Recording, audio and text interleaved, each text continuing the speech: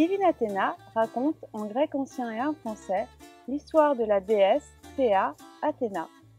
En effet, il n'y avait aucun récit suivi sur elle dans l'Antiquité, aucun auteur qui a à proprement parler raconté la vie d'Athéna, ni même dans la littérature contemporaine. Ce petit ouvrage, Athéna Théa, vient donc combler ce manque en racontant pour la première fois l'histoire d'Athéna. Oui, et puis Divine Athéna, c'est aussi un ouvrage pédagogique qui inaugure une nouvelle collection du label La vie des classiques aux belles lettres intitulée Les petits grecs.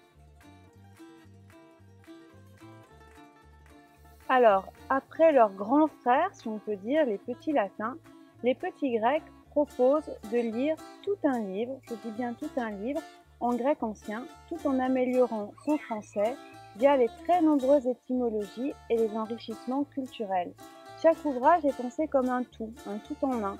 Il contient tous les éléments nécessaires à la bonne compréhension du texte, que ce soit en grec ou en français.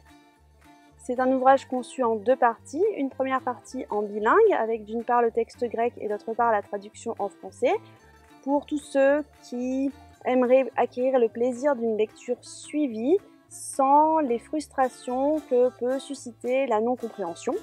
Et puis il y a une partie unilingue, uniquement en grec, mais avec des notes de vocabulaire, pour tous ceux qui cette fois-ci voudraient décortiquer le texte, faire de la version, c'est-à-dire traduire tout seul, ou pour les plus avancés, lire directement dans le texte grec. Athéna est une des déesses les plus fascinantes et les plus puissantes du panthéon gréco-romain. Nous l'avons choisie essentiellement pour les valeurs qu'elle incarne, c'est-à-dire l'intelligence et le succès, la victoire et la sagesse. Athéna est une déesse perspicace, une déesse aussi très vivace. Songez que, alors que toutes les villes qui étaient dédiées aux dieux et aux déesses du panthéon gréco-romain, toutes ces villes sont aujourd'hui des ruines, Athènes, la ville qui est dédiée à Athéna, est la seule qui est encore debout. Oui, et puis Athéna est éminemment complexe, comme tous les humains finalement.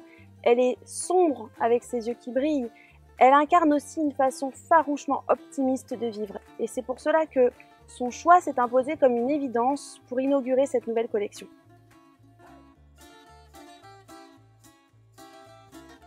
Ce livre s'adresse à tous ceux qui ont envie de faire du grec. Et hum, c'est pensé comme un moyen facile de se rendre compte que finalement on a appris des choses en cours ou qu'on n'a pas tout oublié de ses anciens cours et qu'on est capable tout seul de traduire ses premières phrases.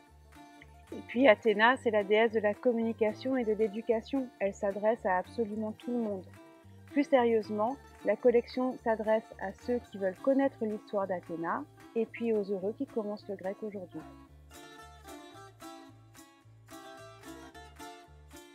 Pour pouvoir lire ce texte en grec, il faut maîtriser les bases qu'on acquiert en général après quelques mois d'apprentissage du grec.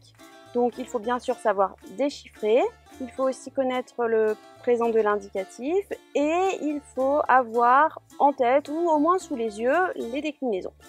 Comme le niveau s'élève progressivement en termes de syntaxe et de grammaire, nous avons dispersé ci et là quelques repères grammaticaux pour soutenir cette progression. Et puis naturellement, on peut savourer le livre uniquement pour lire la magnifique histoire d'Athéna. Mais bien sûr, la collection a été créée pour que l'œil, très naturellement, aille vers le texte grec. D'autant plus qu'il y a beaucoup de mots qui sont présents dans ce texte qui ressemblent en français et en grec par les lettres et par le sens. Je pense naturellement au mot cosmos. Et puis nous avons tenu toutes les deux à ce qu'il y ait dès le début des citations et des extraits d'auteurs de l'Antiquité, par exemple, Homère, Sappho et Hésiode sont présents dans ce livre